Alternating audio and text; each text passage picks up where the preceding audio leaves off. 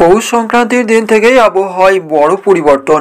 এক নজরে বাংলার জেলাগুলির আবহাওয়ার পূর্বাভাস জানতে অবশ্যই ভিডিওটি শেষ পর্যন্ত দেখবেন।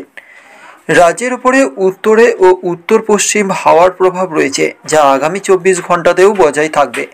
তবে বুধবার থেকে ন্যূনতম তাপমাত্রা সামান্য কিছুটা বৃদ্ধি পেলেও জেলাগুলিতে ভালো ঠান্ডা বজায় থাকবে। গঙ্গাসাগরে যাওয়া পুণ্যার্থীদের উদ্দেশ্যে আবহাওয়া দপ্তর জানিয়েছে, শুকনো আবহাওয়া বজায় থাকবে। এক নজরে দেখে নেব উত্তরবঙ্গের আবহাওয়া। এদিন সকালে দেওয়া উত্তরবঙ্গের জেলাগুলির আবহাওয়ার পূর্বাভাসে বলা হয়, পরবর্তী আটচল্লিশ ঘণ্টা অর্থাৎ বারোই জানুয়ারি, বৃহস্পতিবার সকালের মধ্যে উত্তরবঙ্গের সবকটা জেলারই আবহাওয়া শুকনো থাকবে। উত্তরবঙ্গের ওপরের পাঁচটি জেলা অর্থাৎ দার্জিলিং, কালিম্পং, জলপাইগুড়ি, আলিপুরদুয়ার ও কোচবিহারে ঘন কুয়াশা থাকার সম্ভাবনা। আর নিচের তিনটি জেলা, উত্তর ও দক্ষিণ দিনাজপুর, মালদহ জেলায় পরিস্থিতি তৈরি হতে পারে ঠান্ডার।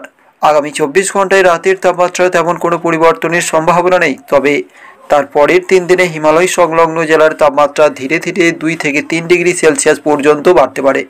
এরপরে এক নজরে দক্ষিণবঙ্গের আবহাওয়া। দক্ষিণবঙ্গের পরবর্তী আটচল্লিশ ঘণ্টা অর্থাৎ বারোই জানুয়ারি বৃহস্পতিবার সকালের মধ্যে দক্ষিণবঙ্গের সবকটি জেলার আবহাওয়া শুকনো থাকবে। আগামী চব্বিশ ঘন্টায় রাতের তাপমাত্রার তেমন বড় কোনো পরিবর্তন হবে না। তবে তার পরের তিন দিনে গাঙ্গে পশ্চিমবঙ্গের তাপমাত্রা ধীরে ধীরে দুই থেকে তিন ডিগ্রি সেলসিয়াস পর্যন্ত বাড়তে পারে এমনই পূর্বাভাস। এরপরে এক নজরে কলকাতার আবহাওয়া।